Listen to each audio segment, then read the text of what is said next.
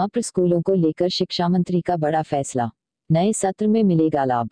शिक्षकों के लिए प्रशिक्षण। मध्य प्रदेश के स्कूल शिक्षा, स्वतंत्र प्रभार और सामान्य प्रशासन राज्य मंत्री इंदर सिंह परमार का बड़ा बयान सामने आया है। परमार ने कहा कि प्रदेश में इसी सत्र से तिरपन ईएफए विद्यालयों में एआई एक विषय के रूप में पढ़ाया जाएगा।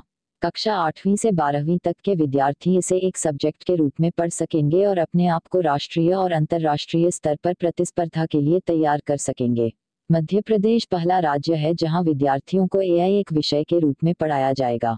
राज्य मंत्री परमार ने कहा कि आर्टिफिशियल इंटेलिजेंस जैसी नवीनतम तकनीक के साथ भारत को विश्व के समक्ष खड़े करने की आवश्यकता है।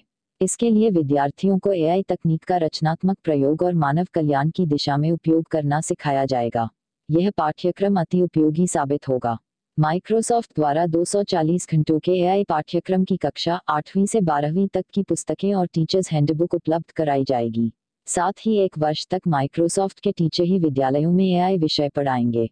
इस अवधि के विद्यालयों के गणित और भौतिक विज्ञान के शिक्षकों को एआई विषय पढ़ाने के लिए प्रशिक्षित भी किया जाएगा। आयुक्त लोक शिक्षण अभय वर्मा ने कहा कि एआई आज के जमाने की मांग है। यह सॉफ्टवेयर का ऐसा टूल है जो आने वाले समय में इनोदर ब्रेन के रूप में जाना जाएगा। इसके महत्व को देखते हुए निर्णय लिया गया है कि कक्षा दसवीं और बारहवीं बोर्ड में परीक्षार्थी एआई को ऑप्शनल सब्जेक्ट के रूप में ले सकेंगे। निदेशक राज्य ओपन बोर्ड प्रभात राज तिवारी ने बताया कि एक दिवसीय कार्यशाला में विद्यार्थियों को एआई पाठ्यक्रम पढ़ाने और उनके मूल्यांकन की रणनीति पर चर्चा की गई। एआई पाठ्यक्रम में विद्यार्थियों को ऐप उपयोग machine learning data processing internet of things और सेंटीमेंट एनालिसिस जैसी तकनीक के बारे में पढ़ाया जाएगा।